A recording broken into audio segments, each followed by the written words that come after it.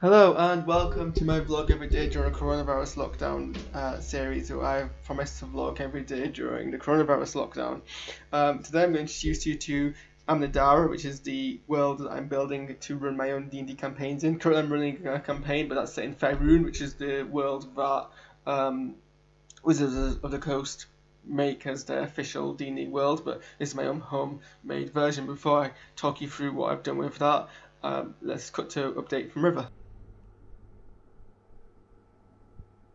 So this is Amnidara, um, and what you see are currently all of the continents. I made this by basically rolling loads of dice, well, all my dice on a um, wet whiteboard. It's a technique that you can find, I think, on Reddit um, for gener generating world maps using dice rolls, and then that would dictate what the landmass was or what structure there was. It was kind of unbalanced, so you can see in the uh, continent of Kainkiller, um, there's a whole bunch of um, cities and then not much anywhere else. So that's going to need a bit of tweaking.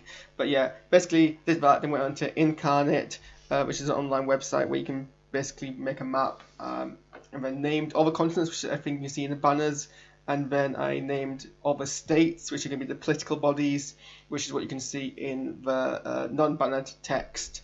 Um, so we've got when the first thing I made was the island city state of Rickyhully, which is now I'm going through and you know, sort of making all the backstory, all the kind of political systems, um, all the legal systems, all the enforcement systems, and then I'm going to go ahead and do all the others a really long Word document that I'm probably going to end up doing.